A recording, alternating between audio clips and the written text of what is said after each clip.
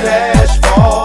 I like the way she walking and talking wall.